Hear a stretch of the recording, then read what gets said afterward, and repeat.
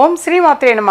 ఇప్పుడు తెలియచేసేటువంటి అంశము మనోవాంఛలు తీరడానికి అని అంటే ప్రతి వ్యక్తికి కూడా మనసులో ఒక కోరిక అనేటువంటిది ఉంటూ ఉంటుంది. ఆ కోరికలు నెరవేరాలి అనంటే ఏం చేయాలి? ఆ కోరికలు తీరాలంటే ఏం చేయాలి? సహజంగా కష్టపడుతూనే ఉంటూ ఉంటారు. అందరూ కూడా గృహంలో ఎక్కువ మంది కష్టపడుతూ ఉంటారు. కానీ కష్టానికి ఫలితం లభించట్లేదని సఫర్ అవుతూ ఉంటారు. కాకపోతే ఒక్కటే ఒక అమ్మగా తెలియజేసేది మనోవాంఛలు నెరవేరాలి అంటే ఫస్ట్ పాజిటివ్గా ఆలోచించటం డెవలప్ చేసుకోవాలి. నెగిటివ్ అనేది రావద్దు. నేను ఎంత కష్టపడ్డా ఇంతే. లేదా నా అప్పులు ఎప్పుడు అప్పులు ఉంటూనే ఉన్నాయి నాకు ఊహ తెలిసిన దగ్గర నుంచి అప్పులు ఉన్నాయి అని అంటారు తప్పించి ఆ అప్పులు అన్న పదం తీసేయండి నాన్న. ఆ వర్డ్ అనద్దు. మీకు ఇక నుంచి చక్కగా కలిసి వస్తుంది అమ్మవారి దేవల్ల. మీరు పాజిటివ్గానే ఆలోచించండి. నా కష్టానికి దగ్గర ఫలితం దక్కుతుంది తప్పనిసరిగా వస్తుంది వస్తుంది అని అనుకోండి డెఫినెట్గా వస్తుంది. ఎప్పుడు అప్పులు ఉంటూ ఉన్నాయి అప్పులు ఉన్నాయి అని అనుకోవద్దు. ఎందుకు తెలియచేస్తున్నాను అంటే నా దగ్గర శ్రీచక్రం అన్న దైవిక వస్తువుని కలెక్ట్ చేసుకున్నటువంటి వాళ్ళకి తెలియచేసేదాన్ని. అప్పులు అన్న పదం అనద్దు నాన్న. నాకు ఆర్థికంగా కలిసి రావాలని అనుకొని శ్రీచక్రం బీరువా లాకరులో పెట్టండి అనేదాన్ని. బీరువా లాకరులో పెట్టడానికి మాత్రమే అది అద్భుతమైన దైవిక వస్తువు దైవిక సంపద. పూజా ప్రాసెస్ అనేటువంటిది మీరు చేయక్కర్లేదు. ఆల్రెడీ నేను చేసి ఇచ్చినటువంటిది. తర్వాత దాన్ని చక్కగా మనసులో సంకల్పం అనుకొని పెట్టండి. ఆర్థికంగా చాలా బాగా కలిసి వస్తుంది. సరే మీరు చేయవలసినది అనంటే అది ఒక పద్ధతి. అంటే ఇది దైవిక వస్తువుల్లో భాగంగా మీకు రిమైండ్ చేసా తెలియచేసా చాలామంది కూడా ఇలా అనుకొని పెట్టిన తర్వాత సక్సెస్ అయ్యారు అని చెప్పేసి మీకు తెలియచేశాను. ఇప్పుడు తెలియచేసేది ఫస్ట్ పాజిటివ్గా మాట్లాడటం మాత్రమే డెవలప్ చేసుకోండి నాన్న. నెగిటివ్ అనేది ఏది కూడా రావద్దు. ఎప్పుడు మా కుటుంబంలో అందరం ఒకరికొకరికి పడనే పడట్లేదమ్మా. మాట అనుకుంటే చాలు ఒకరికొకరికి అసలు నలుగురము కలిసి కూర్చున్నా లేదా కుటుంబ సభ్యులు అందరం కలిసి కూర్చున్నా మాట మాట పెరుగుతున్నది గొడవలు అవుతున్నాయి అని చెప్పేసి అనుకుంటూ ఉంటారు. అలా అనుకోవద్దు. ఎప్పుడు కూడా నేను ఎప్పుడు ఒక అమ్మగా తెలియచేస్తుంటా. భోజనం చేసేటప్పుడు మాట్లాడుకోవద్దు. ప్రశాంతంగా భోజనం చేయండి. భోజనం చేసేటప్పుడు మాట మాట వచ్చిందనుకోండి అది విసిరికొట్టి వెళ్ళిపోతారు చాలా బాధ అనిపిస్తుంది. అందుకే అన్నం తినేటప్పుడు భోజనం చేసేటప్పుడు ఎవరు ఎవరితోటి ఏమీ మాట్లాడకూడదు. చక్కగా ఫస్ట్ మొదటి ముద్ద కళ్ళకు అద్దుకొని ప్రసాదము అన్నం పరబ్రహ్మ స్వరూపం చక్కగా మీరు అది భుజించాలి. ఆ తర్వాత మీకు ఏది అవసరమో ఏ వస్తువు వడ్డన చేసుకోవాలో అంతవరకు వడ్డన చేసుకోండి తప్ప వేరే మిగతా మాటలు ఏది మాట్లాడుకోవద్దు ఎవరైనా ఇంటికి వచ్చి వెళ్ళినా వాళ్ళు చెప్పమన్నారు నేను వచ్చి భోజనం అయిన తర్వాత చెప్పండి ప్రశాంతంగా. భోజనం చేసేటప్పుడు మాత్రం ఏ టాపిక్స్ తీసుకురావద్దు. అసలు ఏ టాపిక్స్ తేవద్దు. ఎందుకంటే ఇది మంచి వార్తే కదా శుభవార్తే కదా ఏమవుతుంది చెప్తే అని చెప్తే అది ఎటు నుంచి ఎటో దారి తీస్తాయి. దయచేసి ఎవ్వరూ కూడా భోజనం చేసేటప్పుడు మాత్రం మాట్లాడద్దు. మౌనంగా చక్కగా భోజనం చేయండి ప్రశాంతంగా తినండి. తిన్నది ఏదైనా చక్కగా వంట పడుతుంది మీకు కూడా. ఆ తర్వాత మీరు మాట్లాడుకోండి. భోజనాలన్నీ కంప్లీట్ అయ్యి బయట కూర్చున్నప్పుడు అప్పుడు మీరు ప్రశాంతంగా మాట్లాడుకోండి.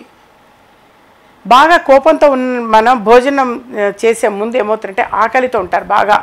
బాగా ఆకలితో ఉన్నప్పుడు కూడా కోపం ఎక్కువ వస్తుంది. ఆ కోపం అన్నటువంటిది అనేక అనేక వీటికి దారితీస్తూ ఉంటాయి. అందుకనే మౌనంగా భోజనం చేయాలి. చక్కగా భగవంతుడి నామస్మరణ ఏదైనా అనుకోండి భోజనం చేయండి ప్రశాంతంగా. సరే ఆ తర్వాత మరి మీకు ఒక అమ్మగా తెలియచేసేది మరి మన మనసులో ఉన్నటువంటి కోరిక నెరవేరాలంటే ఏం చేయాలి? ఒక్క మంత్రజపము అనేటువంటిది పెట్టుకోండి నాన్న. మీరు ఒక్క మంత్రజపం ఏదైనా సరే కావచ్చు. మీ ఇష్టదైవంది. ఏదైనా ఒక్క మంత్రాన్ని మీరు కొన్నిసార్లు ఇన్నిసార్లు నేను జపం చేయాలి అనుకోండి. జపమాల అనేటువంటిది ఉంటుంది. జపమాల అంటే నూట ఎనిమిది ఉంటాయి అందులో. నూట ఎనిమిది సార్లు చదవడం. లేదా అలాంటి జపమాలను పదకొండు సార్లు చేయండి. ఎక్సలెంట్. యథార్థంగా తెలియచేస్తున్నాను. పదకొండు వందల పైన సార్లు కనుక చదివితే అద్భుతంగా వర్కౌట్ అవుతుంది. లేదా ఒక గాయత్రి మంత్రం తీసుకోండి చక్కగా. అది చదవండి. ఒక్క జపమాల చదవండి కనీసం. లేదా గణపతి మూలమంత్రం చదవండి. మీకు ఏది సులువుగా అనిపిస్తే చక్కగా చేయండి నాన్న. ఆ మంత్ర జపము అనేటువంటిది ఒక్క మం జపమన చేయండి చాలంటే నూట ఎనిమిది సార్లు జపించటం. కనీసం అది చేయండి రోజు. డెఫినెట్గా మీ మనసులో ఉన్నటువంటి కోరిక సంకల్పం అనేది నెరవేరుతుంది. అలాగే రక్షణశీల అని చెప్పేసి ఎప్పుడు తెలియచేస్తూ ఉన్నాను. అది కలెక్ట్ చేసుకోండి. ఆఫీస్కి వచ్చి కలెక్ట్ చేసుకోండి. నేనే ఇస్తా స్వయంగా మీకు. రేపు ఈ పర్యటనలు అనేవి కూడా ఉన్నాయి కదా. వైజాగ్ కానీ రాజమండ్రి విజయవాడ లేదా తర్వాత ఇతరత్ర ప్రదేశాలు ఏదైనా సరే వచ్చేటైతే అక్కడికి వస్తే అక్కడికి వచ్చినప్పుడు కలెక్ట్ చేసుకోండి. చక్కగా రక్షణశిల అన్న దైవిక సంపద వస్తువుని ఎన్నో ఎన్నెన్నో అభిషేకాలు నిర్వహించినటువంటిది పూజా ప్రాసెస్ చేసినటువంటిది చక్కగా గాజు గ్లాసులో వేసుకొని ఉంచి ఆ నీటిని ఉదయం వేసింది రాత్రి రాత్రి వేసింది ఉదయం ఆ విధంగా స్వీకరిస్తుండండి నీరు. అది ఇంటర్నల్గా చేంజ్ అనేది తీసుకొస్తుంది.